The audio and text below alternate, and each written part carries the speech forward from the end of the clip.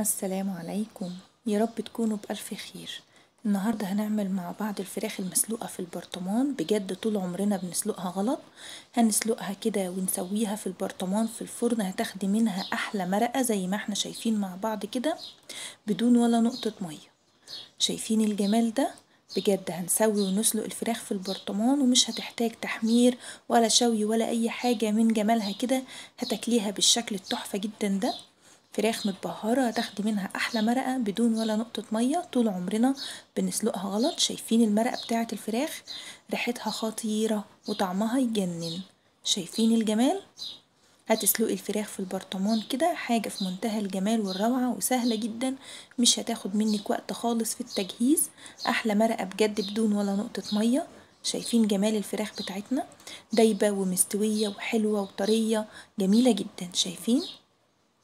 تحفة جدا جدا الفراخ بتاعتنا. أما بالنسبة للمرقة بقى حاجة كده بجد في منتهى الجمال. لو أول مرة تشوفي قناتي ما تنسيش الاشتراك في القناة واللايك للفيديو. فراخ دايبة ومستوية واللحم لونه أبيض. شايفين؟ جميلة جدا جدا جدا. مخدتش مننا أي وقت في التجهيز. وبجد بدون ولا نقطة مية بكل أمانة يا جماعة هتاخدي أحلى مرقة للفراخ بالشكل التحفة جدا ده.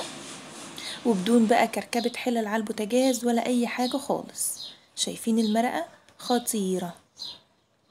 يلا بينا نسمي الله ونصلي على الرسول ونشوف الطريقة والمقادير. يلا بينا على بركة الله.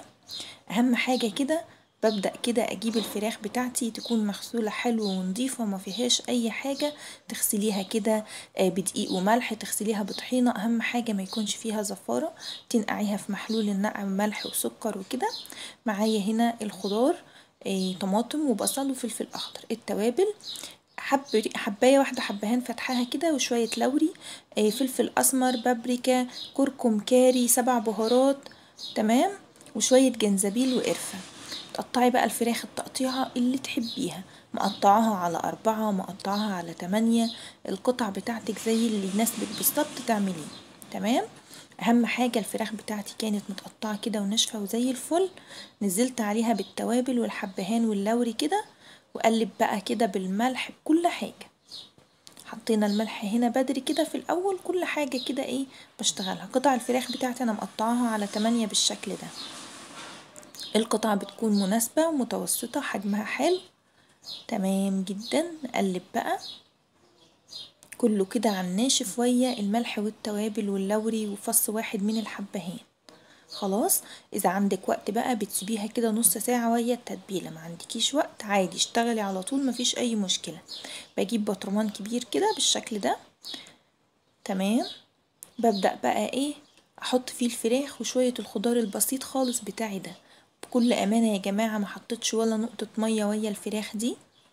وهتطلعي أحلى مرقة منها خطيرة بجد رهيبة. تمام؟ ببدأ أحط قطع فراخ شوية خضار بالشكل ده.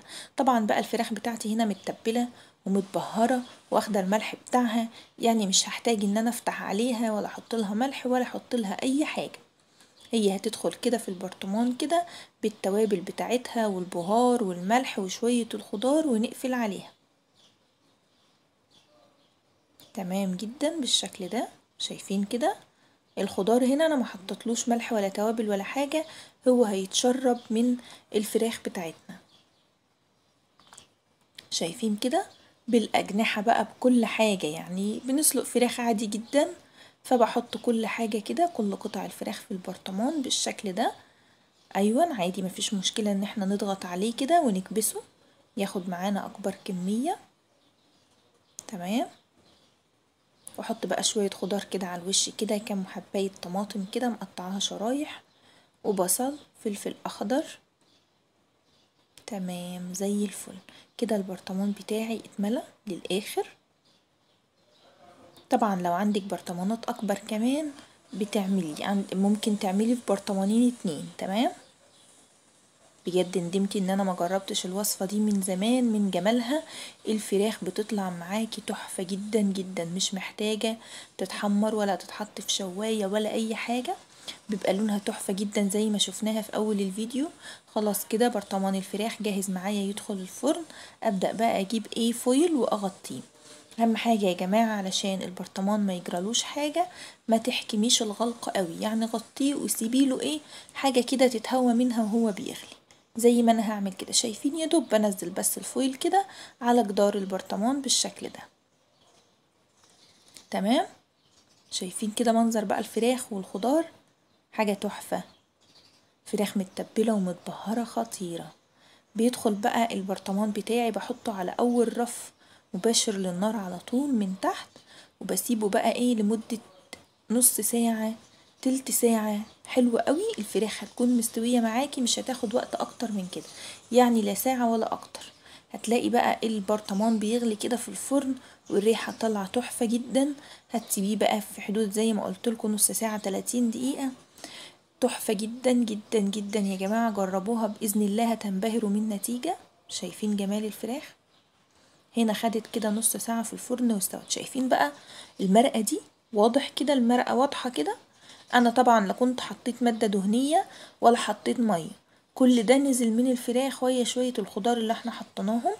نزلت كل المرقة اللي فيها والمية بتاعتها وكمان نسبة الدهون اللي باينة كده على الوش. المادة الدهنية دي دي من الفراخ نفسها حاجة كده تحفة. إن شاء الله تجربوها. النتيجة هتعجبكم جدا وكمان ممكن تعتمدوها وتبطلوا بقى كركبة على البوتاجاز من فوق وكل حاجة كده نسويها في الفرن. أنا نزلت معاكم امبارح ورق العنب وكان واضح جدا إن أنا كنت مسوية معاه الفراخ دي في الفرن. فأنا خلاص كده نزلت وصفة ورق العنب في البرطمان. ممكن بقى تعملي المحشي والفراخ وترصي في الفرن تعملي اللحوم بقى والحاجات بتاعتك الحلوة كده وهي أي أكلة مكرونة أي أكلة في البرطمانات كده ورصي في الفرن. ولا كركبة بقى على البوتاجاز ولا أي حاجة. شايفين المرقة نازلة إزاي يا جماعة؟ شايفين لونها رايقة جدا حلوة قوي ريحتها كانت رهيبة وأنا بفضي البرطمان. أهم حاجة كمان بنعمل البير البرطمان بتاعنا معاملة البايركس. يعني ما يطلعش من الفرن ونحطه على سطح بارد كده على الرخامة ولا حاجة. لازما يا تطلعيه بالصاجة بتاعته يا تحطيه على شيالة كده بالشكل ده. لون الفراخ رهيب. أنا معجبة جدا بلون الفراخ. شايفين؟ بوريها لكم كده وهي جوه البرطمان من جوه. لون الفراخ تحفة وهي متبلة كده وحلوة. بجد لا محتاجة إن هي تتحمر ولا تتحط في تحت شواية ولا أي حاجة. تاكليها كده زي ما هي مبهرة كده ومتبلة. كأنها نفس لحمة نفس الفراخ اللي بتكون موجودة في الأفراح. تحفة. شايفين الشوربة رايقة جدا جدا ريحتها خطيرة طعمها تحفة طبعا متملحة بقى وكل حاجة نازلة كده من إيه من الفراخ بتاعتنا. طلع بقى بقية قطع الفراخ من البرطمان بالشكل ده. ممكن بقى تحطي الشوربة في بولات صغيرة والفراخ كده تحطيها في سرفيس كده كبير بنفسها زي ما هي كده بدون تحمير ولا حاجة. يا دوب بس بتزينيها بشوية بقدونس أو كزبرة خضراء وتحطيها كده في اطباق التقديم وتقدمي كده. أكل سهل كده ولذيذ في دقايق كده وبتكوني رصة كله في قلب الفرن برطمان وتحطيه في الفرن تحفة جدا. الفراخ كمان بتاعتي دايبة ومستوية دايبة دوب بجد حلو قوي واخدة سوا تحفة جدا في الفرن.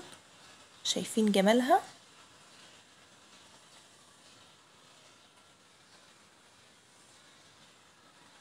حاجة كده عسل لما تجربيها. بجد هتنبهري بالنتيجة. تحفة جدا جدا. شايفين جمال الفراخ سهلة جدا. بالشوكة كده بتدخل فيها في منتهى الجمال.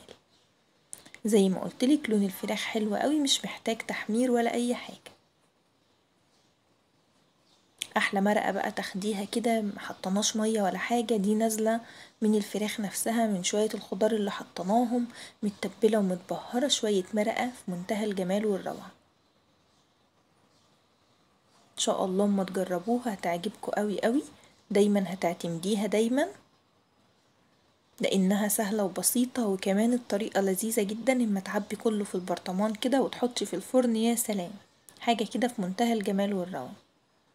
وبالهنا أشوفكم الفيديو الجاي على خير. باي باي.